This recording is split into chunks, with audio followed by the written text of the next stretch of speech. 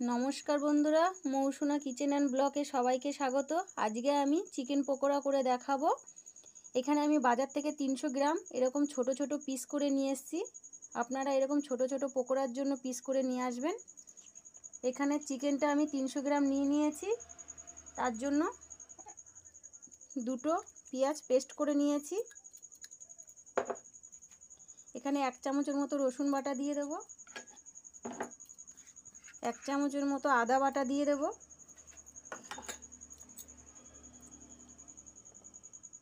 এক চামচের মতো লঙ্কার গুঁড়ি দিয়ে দেব।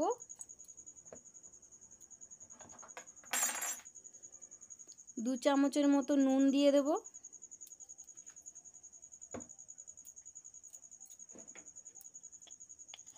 দিয়ে দেব এক চামচ কর্নফ্লাওয়ার। এক চামচ বেসন।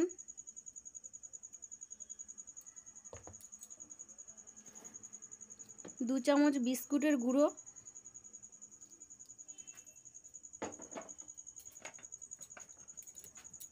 দিয়ে দেব এক চামচের মতো টমেটো সস।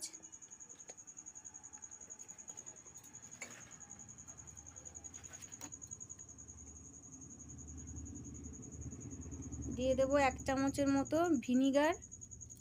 মাংসটা খুব সফট হবে। একটা ডিম আমি ফাটিয়ে রেখেছি, সেটা ঢেলে দেব।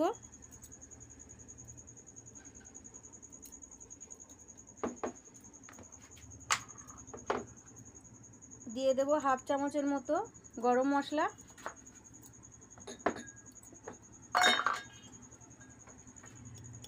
হাফ চামচের মতো ভাজা জিরে ধনের গুঁড়ো। এবার এটা ভালো করে ম্যারিনেট করে রাখব।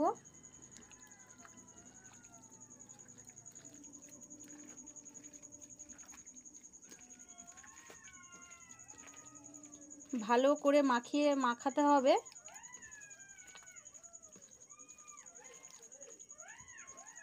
আমি ভালো করে মাখিয়ে নিয়েছি। এবার আধ ঘণ্টা এটা ম্যারিনেট করে রেস্টে রেখে দেবো।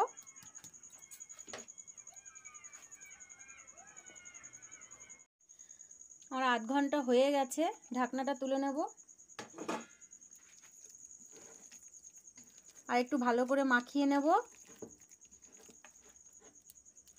আমি কড়াতে তেল দিয়ে দিয়েছি, তেলটা গরম হয়ে গেছে।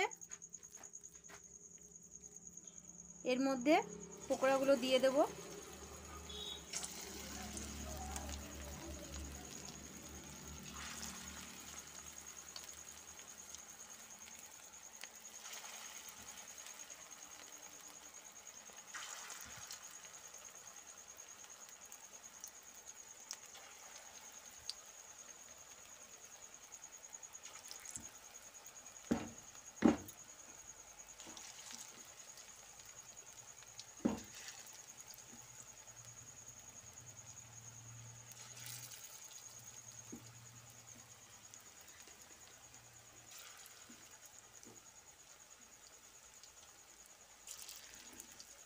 এবার হালকা স্টিম করে ঢেকে দেব দু মিনিট সেদ্ধ হওয়ার জন্য।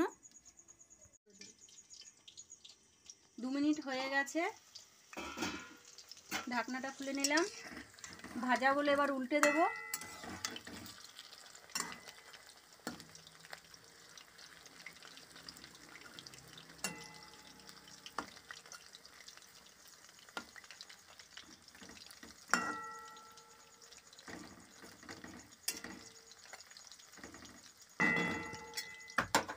আরও দু মিনিট ঢেকে দেবো। মাংসটা সেদ্ধ দু মিনিট হয়ে গেছে, ঢাকনাটা খুলে নেব। ভাজাগুলো একটু কড়া করে করে ভাজতে হবে। আমার ভাজা হয়ে গেছে। তুলে নেব।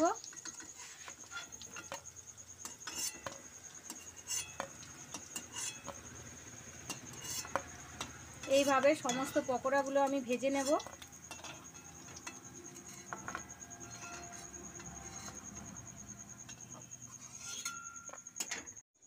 দেখুন বন্ধুরা, আমি সবকটা পকোড়া এরকম করে কড়াভাবে ভেজে নিয়েছি।